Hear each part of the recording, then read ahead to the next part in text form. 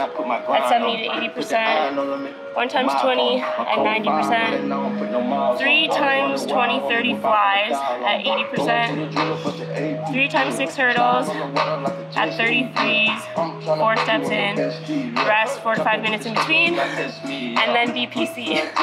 Wait, what is BP? What, what's that last one? BPC.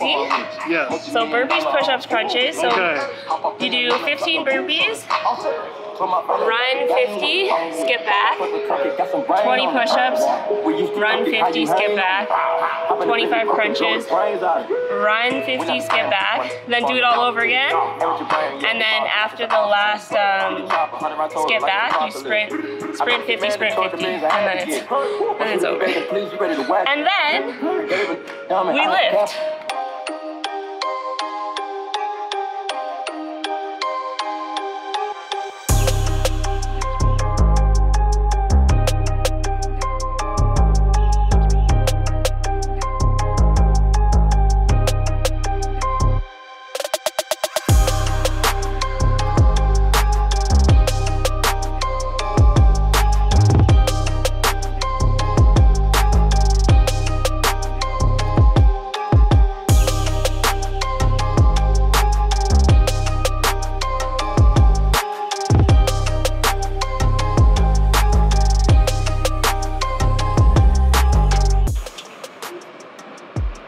Significance was there in the order of events? So in doing the shorter sprints before you actually go over the hurdles.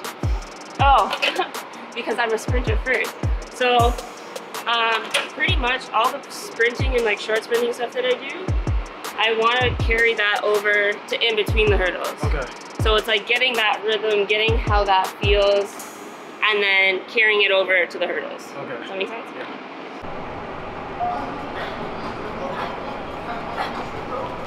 I just thought your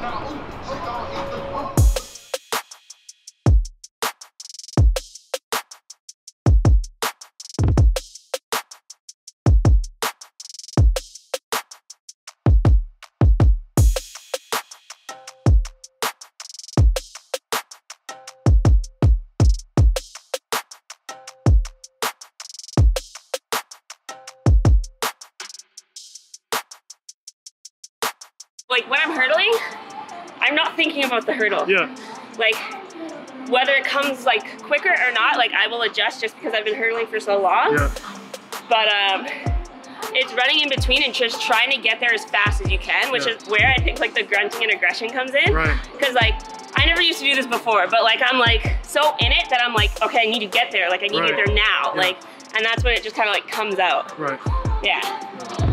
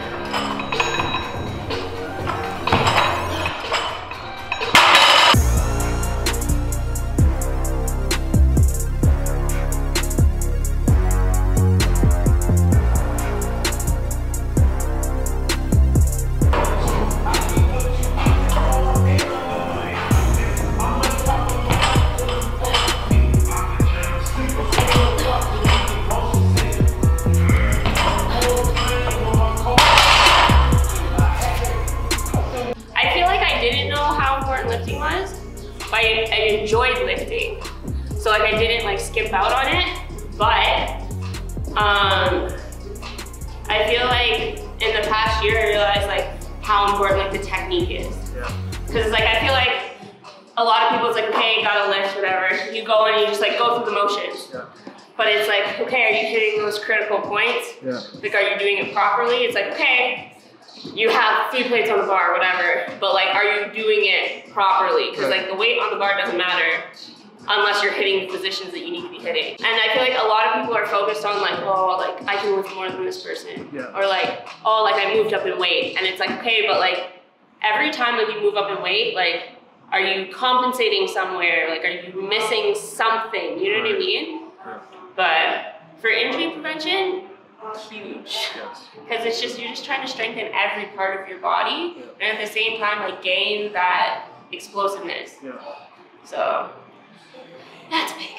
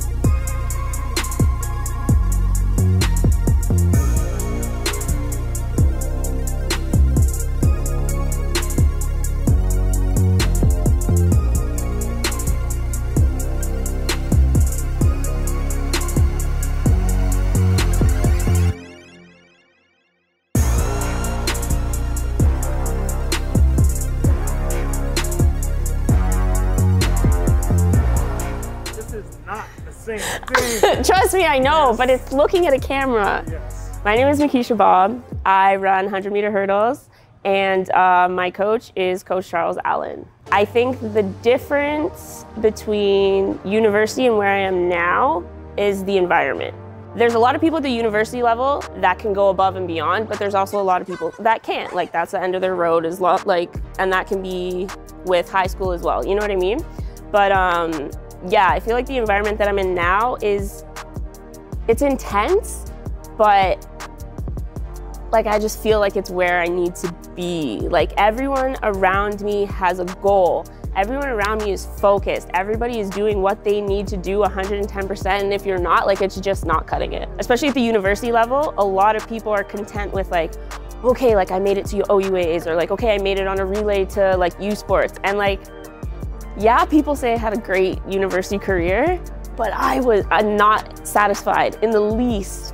And like, people will be like, oh, like you, you like you did so great, like whatever, whatever, and I'll be like, nah, like it wasn't. And they'll get mad at me and like, what are you saying? Like you did so much. I'm like, no, but the thing is, it's I didn't do enough. Like I didn't do what I wanted to do in that span of time. Like OUAs, my last OUAs, still breaks my heart to this day. Like to this day, still breaks my heart. But on the bright side, I'm like, okay, but it's not over. Like that wasn't the end. That's not what it, it was. Like that's not your claim to fame. Like that's not it. It's like now I'm with a, like a group of people, and everybody has clear goals. Like it's not like oh like I just want to do well this year. It's like no I'm I want to go to the Olympics. I want to do well at the Olympics. I want to place top whatever. And it's like let's go. Like I'm amped. Like that's what I need and that's what I'm excited for. With hurdles, like there's there's things that I do need to iron out, which I'm really excited for because I can see a difference even with the slightest change um, versus like where I was like a year ago. Like looking at like anything, like even just like looking at myself in the mirror, like I look completely different. It's crazy. But um, my goals for the next couple months is honestly just 110% every practice, keep after the grind. And I'm really, really, really, really, really excited to compete whenever, whenever, whenever that is. I don't know when that's gonna be, but um, just to see where I'm at because I am, I am trying to be one of the top hurdlers in Canada. So that is the goal. My name is Mikeisha Bobb, and you're watching Mission6ix Media. Okay. okay, I'm pleased.